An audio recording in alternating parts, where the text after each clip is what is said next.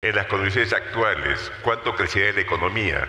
Este año, el siguiente y el próximo estamos en 3%, que también no es observable, es una estimación. Obviamente si se hacen las reformas, este año más próximo probablemente a 5, 5 y pico, etcétera, ¿no?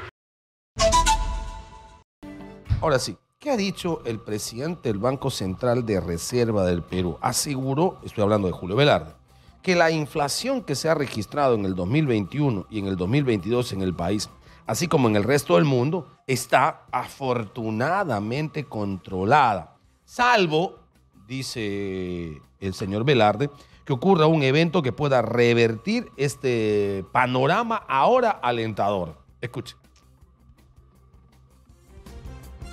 Queda este año, el próximo año va a fluctuar alrededor del 2%, ¿Qué es nuestra meta.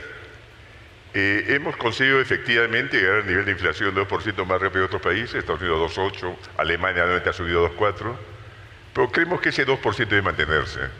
En principio creo que la inflación que vimos 2021-22 en todo el mundo, vemos el Perú ya está controlada. Con esto no quiero decir que pueda haber un nuevo evento que pueda causar inflación, pero esta inflación que hemos vivido creo que ya está controlada. Eh, participó Julio Velarde en el panel de la estabilidad macroeconómica al crecimiento sostenido. Ahí explicó cómo la economía peruana podría crecer a niveles de 5% o incluso más de esa cifra. Escucha. Nosotros para fijar nuestra política monetaria tenemos que estimar el potencial de crecimiento del producto. Ahora, lo que llamamos los economistas crecimiento tendencial en las condiciones actuales, ¿cuánto crecerá la economía? Este año, el siguiente y el próximo estamos en 3%, que también no es observable, es una estimación.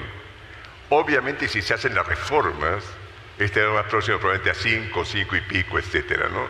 Que es un conjunto de reformas que tiene que hacerse.